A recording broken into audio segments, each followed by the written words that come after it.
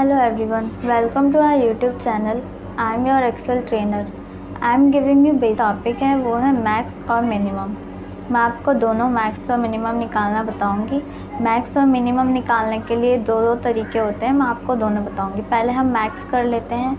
यहाँ से यहाँ तक नंबर्स को सिलेक्ट किया चले गए ऑटो सम पे. ऑटो सम पे जाने के बाद मैक्स पे क्लिक कर दिया. देन नेक्स्ट तरीका ये होता है मैक्स को निकालने का. इक्वल प्रेस किया. मैक्स लिखा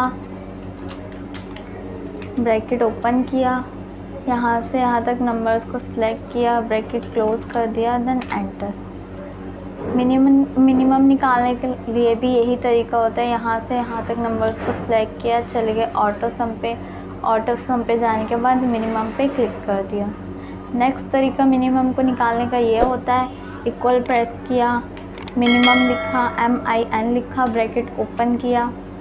नंबर्स को सिलेक्ट किया ब्रैकेट क्लोज कर दिया देन एंटर और इन सबको सिलेक्ट करके ड्रैग कर देते हैं।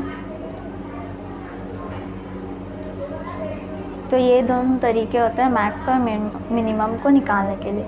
Thank you for watching